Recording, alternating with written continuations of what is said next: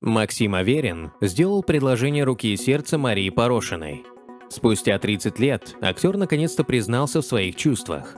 Аверин и Порошина были однокурсниками в театральном училище. Оказывается, уже тогда Максим был в нее влюблен, но признаться в своих чувствах смог только сейчас. Порошина стала героиней программы «Жизнь и судьба». В студии Аверин рассказал, как был очарован сокурсницей, а его мама в своих мечтах уже сосватала молодых людей – нам было по 18 лет. Мы были счастливые, молодые. Моя мама мечтала, чтобы я женился на Машке. Всегда переживала, что этого не состоялось. «Маня, но у нас же еще все впереди?» – спросил он Порошину. Актриса сразу не нашла, что сказать, но потом, справившись с волнением, дала обещание подумать. «Я подумаю лет 10, а потом отвечу», – пообещала Мария.